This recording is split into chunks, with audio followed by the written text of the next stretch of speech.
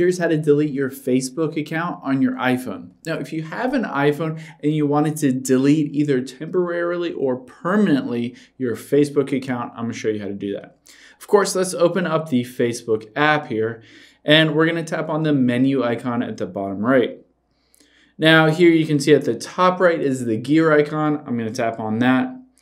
Now, I could walk you through the steps to find it in the menu, but the key thing here is that it's obnoxious because Facebook keeps moving it around. Ultimately, they don't want you to delete your account, so they keep moving it around to different places in the menu. So the easiest thing that you can do, which will always work, is hit that search button at the top right, and then we're gonna search for delete and hit done, you can see at the first result is personal details. It doesn't even show you that this will delete your account, but let's tap on that. If they move it around, this still should work in basically taking you right to where you can delete your account.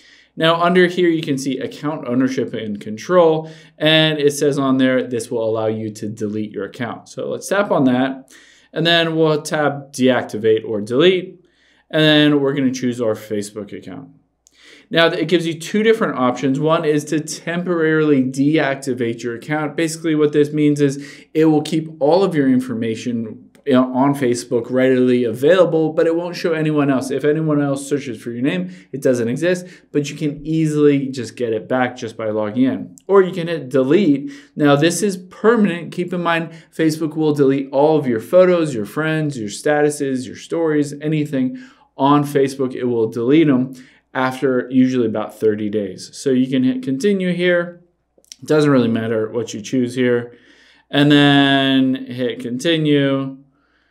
And then basically it says, do you want to deactivate your messenger account?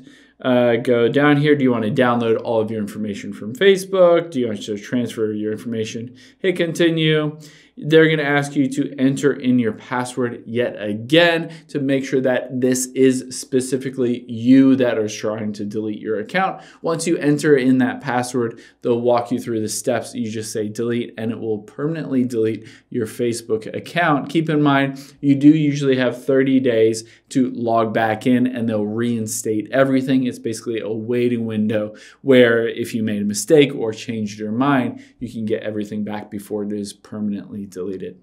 Hope this helps. You have any questions on that? Leave them in the comments down below, and I'll catch you on the next one.